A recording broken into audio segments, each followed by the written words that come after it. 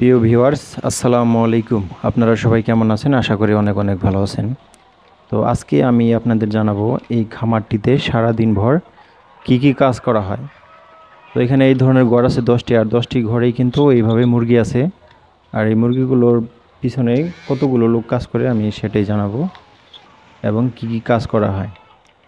তো এখানে তিনটি ভাগে বিভক্ত করা হয়েছে লোকগুলোকে।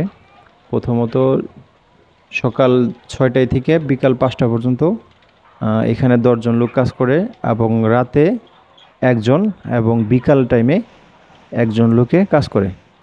তো আমি সর্বপ্রথম জানাব, রাতে যে ডিউটি করে, উনি কি করে রাত্রের বেলায় কি কাজ করে?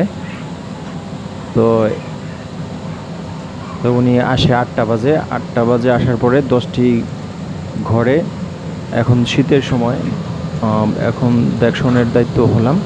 এই হিটার সবগুলো ঘরে চলছে কি না সেটি দেখে এবং আগামীকাল যে ডিমগুলো সংরক্ষণ করবে, যে পাতাগুলো, এটা দেখতে পাচ্ছেন কাগজের পাতা, এইগুলোর উপরে ডিম রাখবে, এগুলো দশটি ঘরে কিন্তু উনি খুলে এভাবে রাখে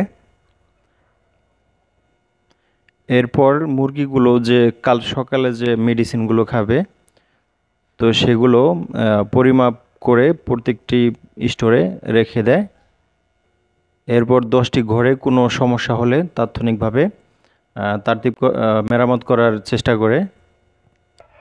এরপর সকাল হলেই ভোর যখন চারটা বাজবে তখন কিন্তু এখানে যে মুরগির খাবারের লাইনটি দেখতে পাচ্ছেন এগুলো নিচে করে দেওয়া হবে।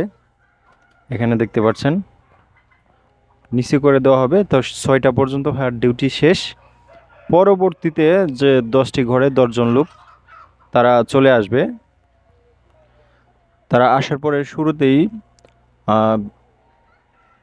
এই ঘরটির ভিতরে চলে আসে। এরপর এখানে যে নিচে মুরগিগুলো যে ডিম দিয়েছে, সেগুলো সংরক্ষণ করে এবং কোনো মুরগি যদি মারা যায়, তা সেগুলো বাহিরে নিয়ে আসে। আপনারা এই বেলটি চালিয়ে দেওয়া হয়।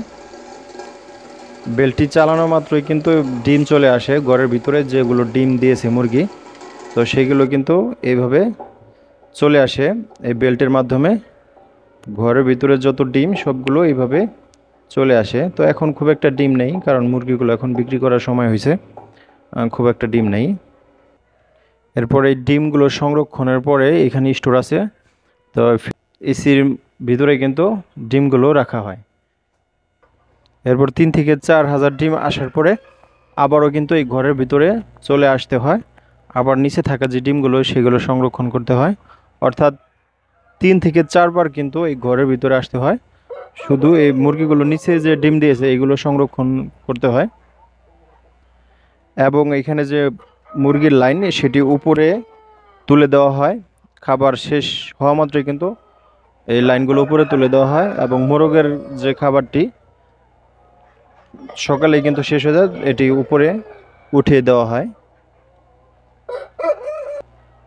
এরপর দুপুর যখন একটা বাজে, তখন কিন্তু এই মুরগিগুলোর কিন্তু খাবার এইগুলো কালকে খাবে এইভাবে প্রত্যেকটি বাটিতে ফিড ডালা হয় মুরগিগুলোকে খাবার খাওয়ানোর জন্য।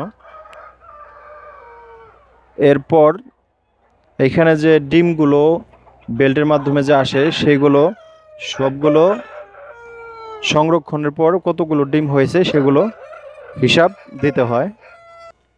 এরপর ডিমগুলো হিসাবের পরে এটি লোড করা হয় গাড়ির ভিতরে কারণ এগুলো বাচ্চা ফোটানোর জন্য ডিম, এগুলো লোড করা হয়। এখানে আরেকটি জায়গায় নিয়ে যাওয়া হয় হেসারি ওইখান থেকে বাচ্চা উৎপাদন করা হয়।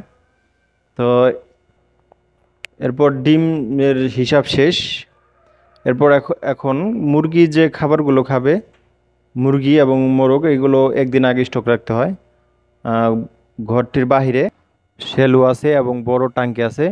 তো শেলির ভিতরে বিশ কিস ডালা হয়, একটি ঘরে বিশ কিস মুরগির খাবার ডালা হয়, এটি আবার এই বড় টাঙ্কিতে জমা হয়। এরপর মুরগিগুলোর যে মেডিসিন, এগুলো টাঙ্কিতে দেওয়া হয়। দিনে প্রতিদিন মুরগিগুলো এই টাঙ্কি দেখতে পাচ্ছেন, এখানে তিন টাঙ্কি পানি খাবার খেয়ে থাকে মুরগিগুলো।